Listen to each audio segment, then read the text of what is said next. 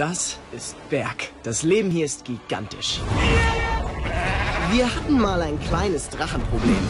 Aber jetzt sind sie alle bei uns eingezogen. Habe ich dir schon gesagt, wie toll du heute aussiehst? Und seit Wikinger auf Drachen reiten, hat die Welt keine Grenzen mehr. Das ist der Wahnsinn! Was ist denn hier passiert? Du denkst bestimmt, du kennst dich mit Drachen aus. Aber ich zeig dir was, was du noch nicht weißt. Kennen wir uns irgendwoher? Nein, du warst damals noch so klein. Aber eine Mutter vergisst sowas nicht. Ich fass es nicht. Du hast sie alle gerettet. Es kommt was auf uns zu. Etwas, was ihr bisher nicht kanntet. Die Drachen gehören jetzt mir. Beschütze unser Volk. Das ist deine Bestimmung.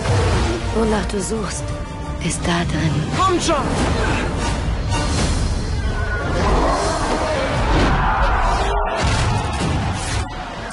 Los, Zahn!